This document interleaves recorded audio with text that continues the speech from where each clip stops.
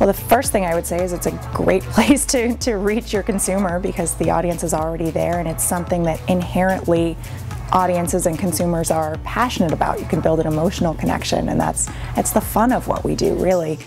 The opportunity for a brand in all of that is you can be very targeted. You can you can find a specific audience and align with that.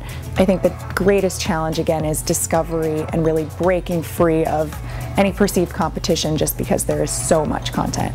And really the best way for a brand to do that is by working and figuring out who they're trying to target, what storytellers align with that messaging, with that goal, and working appropriately. It's not about being everywhere, it's about being where your audience is in a creative, meaningful way.